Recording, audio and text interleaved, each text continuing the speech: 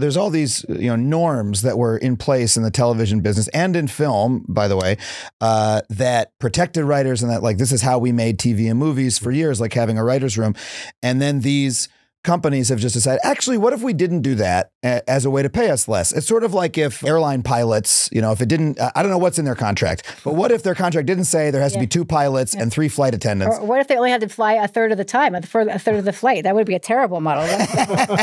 yeah. yeah. And what if, what if the companies were like, how about it's just one guy Yeah. in the plane? Or- or it's and then like- he's also has to do the drinks. What, Yeah, but but yeah. you don't ever get to land the plane.